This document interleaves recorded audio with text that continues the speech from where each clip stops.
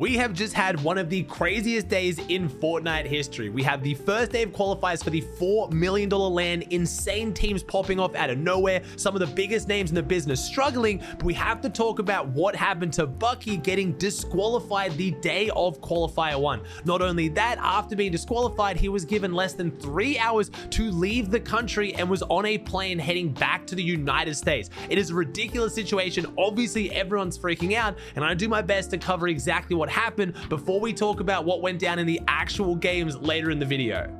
So the timeline is a little bit weird on this one. The news broke from Bucke himself tweeting out basically a whole bunch of tweets around the fact that he was disqualified from the event and he was being escorted home. He did tweets from the car on the way home. He then did a live stream from the airport where he actually seemed incredibly upset despite all the jokes throughout the tweets that he was making. The short of it is basically he was disqualified by Blast themselves. He was saying that this information wasn't coming from Epic Games because Epic Games has hired Blast as the company to run the tournament. They run the broadcast, they organize all the players, all of that. So he was saying that someone at Blast has told him he's disqualified and he has to leave the country, but he was never told why he was disqualified or what happened around this situation. A lot of people were saying he got deported. As far as I can see, he wasn't deported. That would be a much bigger legal issue. That means it would be the actual government themselves kicking him out of Denmark, and that would have a whole bunch of legal ramifications and cause a bunch of issues for Bucke traveling in the future. I'm pretty sure it was just the company running the event Blast were kicking him out of the event and for whatever reason were demanding he had to go home. Whether that's because he had some kind of visa with them, it's very hard to get to the bottom of this situation. There was three main theories as to why Bucke was disqualified. Firstly, came from him himself on Twitter. He was talking about how he changed the digital vibrancy of the game PC that he'll be playing on in the tournament. Digital vibrancy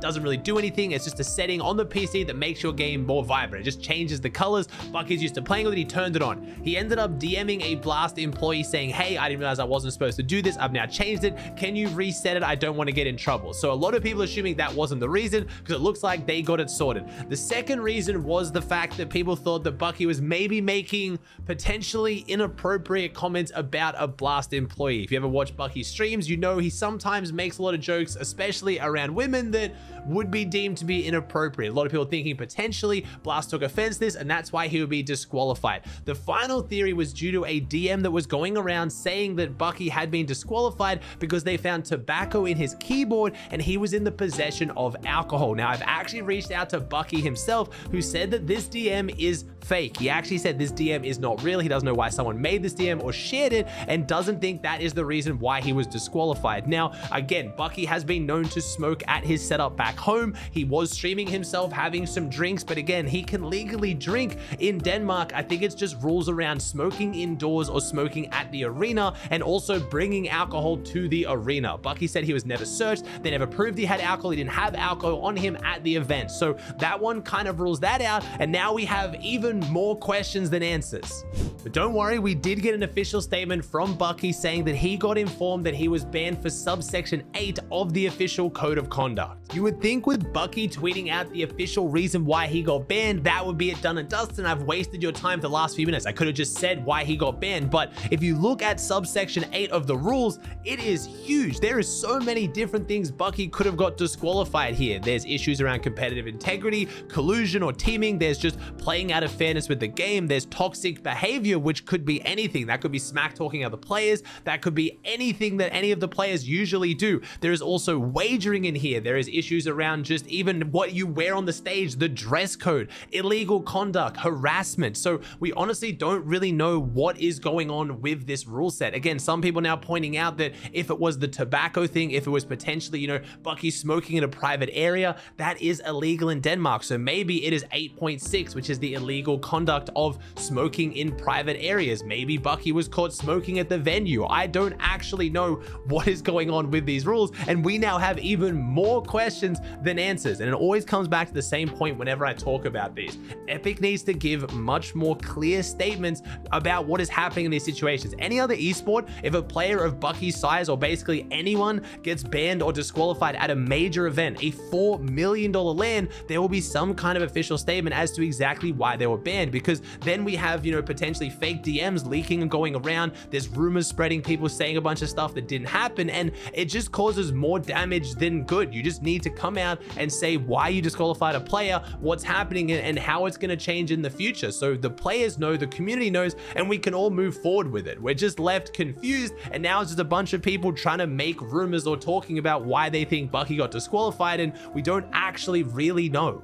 This doubles back to what's going on with Jace and Repulse, the OCE team that was originally disqualified before the tournament began. There's a whole bunch of rumors circulating about Repulse didn't even qualify, account sharing, cheating, a whole bunch of stuff going around. We never got official statement until randomly Jace and Repulse got disqualified the day before the tournament. They were never told why they were disqualified, and now a lot of people thinking it might be the same thing. If it's the smoking and drinking, Jason Repulse were very, you know, open on social media about them going out and partying. They posted most multiple photos of them smoking. Was that now seen as inside the venue? And that's why they're disqualified. It is just so many questions and I'm so sorry I don't have the answers, but I want to at least give you the whole situation so maybe you can try and figure out what happened for yourself. I honestly don't know what is going on anymore.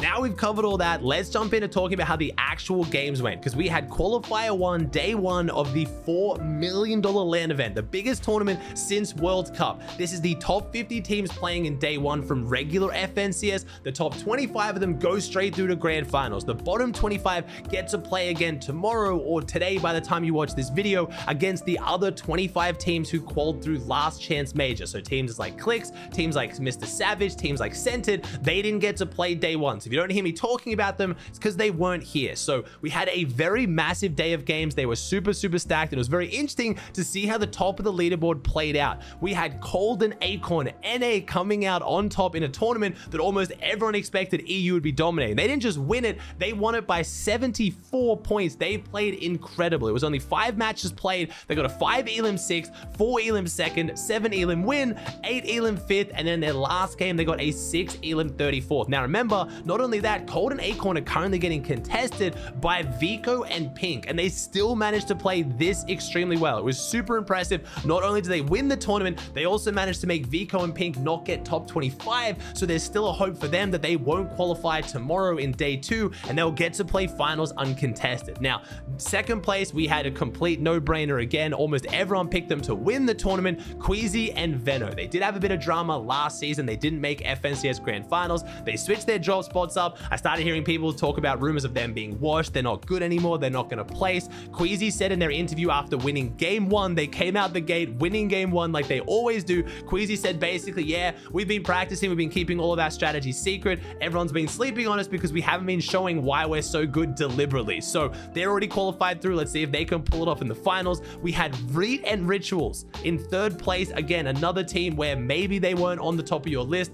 Reed and Rituals have been looking incredible. This has to put it that this pretty much has to put to rest any accusations of Reet being suspicious around his gameplay. He is now consistently dominating at LAN. They were actually in first place after the first two games. They fell off a little bit towards the middle, then brought it back with a 5 Elim 6, but either way, they played fantastic. Iomzo and Rise in fourth place. So we have three NA teams in the top four. Almost no one would have predicted that. They are three of the best NA teams. They were playing absolutely fantastic. And then Cami and Seti in fifth to round out the top five. So two EU, three NA in the top five. We actually didn't have a single small region team win a game today. All five wins were to EU or NA, but I got to give a huge shout out to my home region, Alex and Worthy, the Power Boys coming in sixth place. That is an insane performance, and I know it's going to surprise a lot of people. The OC fans will not be surprised. They know how good Alex and Worthy is. This is Worthy's first ever LAN event. He has been one of the all-time GOATs out of OCE, but just missed out on last two LAN events. Now finally getting to show what he can do, and a sixth place was incredible. Their worst placement was an 11th place. They were such a consistent team on the day,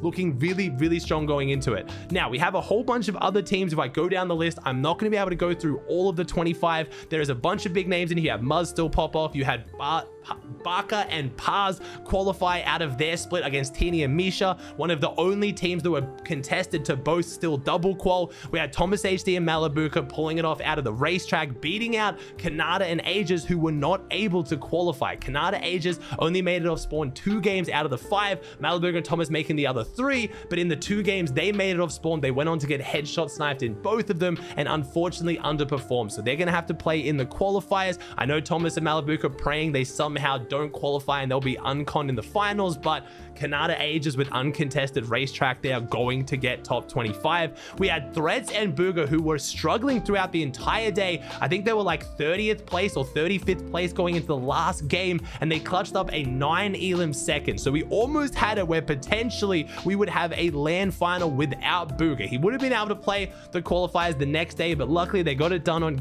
on day one, played fantastically well. We had Blaha and Mixon pull it off as well. Misha Tini, like I mentioned, iDrop and Mappy just sneaking by in the top 25, but that obviously leaves some massive names. Like I said, Vico Pink didn't make it. We had no Rapid and Batman Bugha, Ages and Kanata already mentioned, Podesai and Snazy. We had Dukes and Edgy right at the bottom. We had some really, really big teams not make it through, but again, all of them still get the chance to play in the day two qualifiers. Now, the big question, what does this mean now for teams going into day two, like Clix and Epikwhale? Obviously, these teams that qualified, their drop spots are up for grabs, but other teams that a lot of people thought would qualify and now struggling means the drop map is looking super interesting. So Mega City, for example, Clix and Epikwhale's native home where they were planning on dropping, only one team out of the three going there in day one actually qualified, Grip A and Flixie, which means now Clix and Epikwhale are dropping into a quadruple contested drop spot, one of which the team is dropping directly on them Yuma and Jamon. They're the Asia Last Chance Major qualifier. Clix and Epikwhale, despite this, say, hey, we still like our chances. We can still get a top 25 while being contested. We are happy to be contested on spawn with two other teams right next door to them. If you've been watching NA, Clix and Epikwhale have been having some issues getting fought by Batman Bugha and Rapid on spawn at Mega City in Cash Cups and other tournaments. So now on the biggest stage, only five games, it is incredibly scary for Clix fans going into this. And if you're a fan of the big names, Mr. Savage and Badil aren't in much better spot either. Suns and Anon, who unfortunately did underperform day one, uncontested Knotty Nets, they really couldn't pull it together. They haven't qualified and they are now going to be contesting Mr. Savage and Badil. So they are now being contested on one of the worst spots on the map. It is just so far away at Knotty Nets and they have to pull it together getting a top 25. So you've got to assume they have to make every game count they can make it off spawn or we potentially will have an FNCS grand final for $4 million with no Mr. Savage and no Clix. We'll have to see how they pull through. Other big names, Centered and Polarized, are now taking the Yomzo and Rise split. Things looking great for them. Of course, Yomzo and Rise qualified. Centered and Polarized happy to take that loot uncontested. Fanayan and Moneymaker now trying to go to the drop spot that Alex and Worthy also had so much success from. Vortex and Belusi taking over Taste and Mustache's spot as they've qualified. Quanti and TK taking over Trulex and Chicho's spot on the south side of Slappy. We got a lot of big names moving around their drops. Death and Tahi are going to have a rough, a more rough time because Snazy and Podeside, the Frenchies, weren't able to qualify out of Shattered Slabs. So Death and Tahi are going to have to be dropping into them. Neither Dukes, Edgy, or Ping and Kyrie qualified from their spot. So they're going to be contesting each other again as well. Peterbot and Byler are now going to at least only have one team contesting them for the Mythic POI. Obviously, if Bugha didn't qualify, his team would be there also. So very lucky for Peterbot and Byler that Bugha and Threats clutched it up in the last game. Yanis and Rezon are so incredibly lucky. One of the best teams to be playing out of Last Chance Major, and they had two teams contesting their split. And like I said, Teeny's team and Barker's team managed to both qualify. So Yanis and Rezon now get their split uncontested, which is extremely surprising.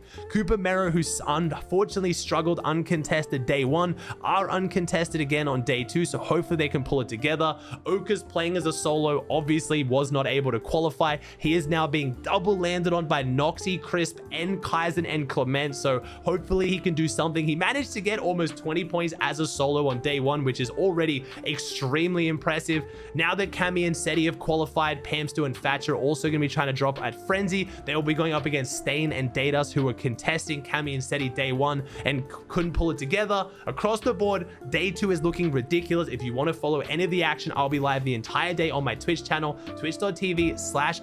Tune in, V-Buck giveaways, gifted subs, giving away dig merch, bunch of cool stuff, bringing the vibes. Don't miss it.